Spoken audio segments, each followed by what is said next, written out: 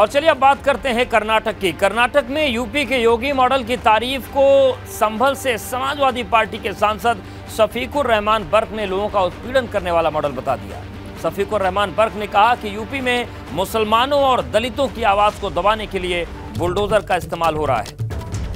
शफीकुर रहमान बर्क ने आरोप लगाया है कि बुलडोजर के इस्तेमाल से यूपी में अशांति फैलाने के लिए काम किया जा रहा है। और सुनिए आप एबीपी गंगा संवाददाता अविनाश तिवारी से बातचीत में उन्होंने और क्या कुछ कहा है योगी मॉडल को लेकर? सुनाते आपको।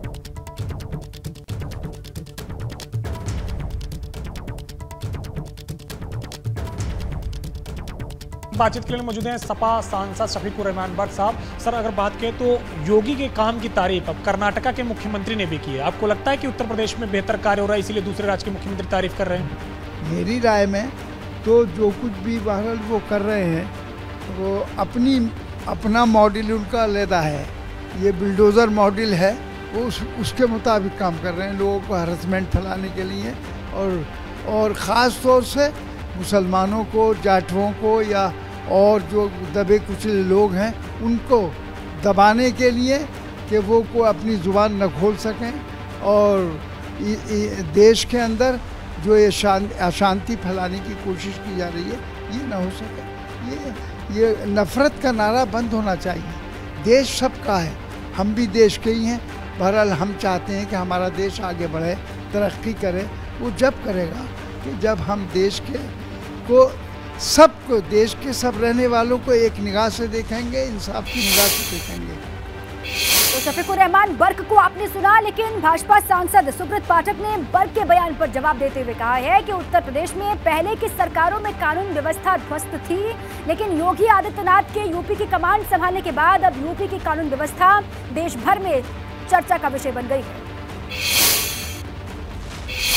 योगी सरकार के कानून व्यवस्था की चर्चा अब दूसरे राज्यों में भी होने लगी है। कर्नाटका के मुख्यमंत्री बासवराज बुम्बई ने कहा है कि अगर ज़रूरत पड़ी तो वो भी कर्नाटक के अंदर योगी मॉडल को लागू करेंगे। हमारे साथ बातचीत के लिए मौजूद हैं बीजेपी सांसद सुब्रत पाठक जी। सर, जिस तरीके से योगी के कानून व्यवस्था की विपक्ष जहाँ उत्तर प्रदेश में आलोचना कर रहा है, वहीं आपके सहयोगी मुख्यमंत्री जो है कर्नाटका के, वो कह रहे हैं कि ज़रूरत पड़ी तो कर्नाटका में भी योगी मॉडल लागू करेंगे। देखो, बिल्कुल जिस प्रकार से उत्तर प्रदेश में पूज्य योगी आदित्यनाथ जी के मुख्यमंत्री बनने के बाद में, और उत्तर प्रदेश की जो बिल्कुल ध्वस्त कानून व्यवस्था को पटरी पर लाने का जो काम हुआ है, मैं समझता हूँ कि पूरे हिंदुस्तान में एक उदाहरण उत्तर प्रदेश के मुख्यमंत्री ने पेश किया है।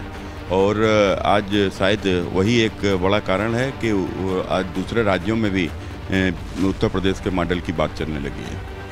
वक्त था जब अलग अलग राज्यों के, खासतौर से विकसित राज्यों में, खासतौर से पश्चिम भारत के राज्यों की बात करें तो वहाँ की चर्चा होती थी, वहाँ के मॉडल की चर्चा होती थी।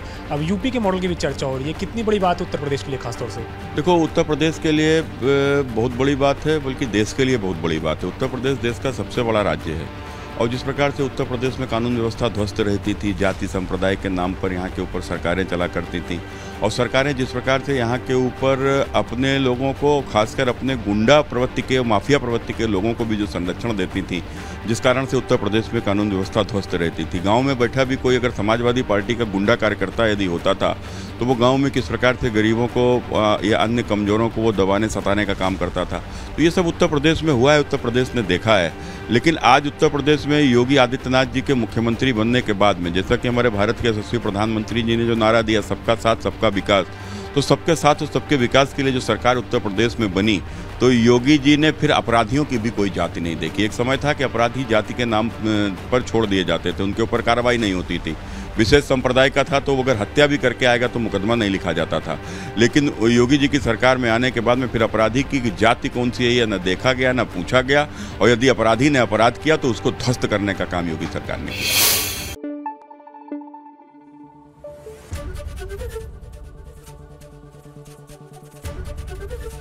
एबीपी गंगा खबर आपकी जुबा आपकी।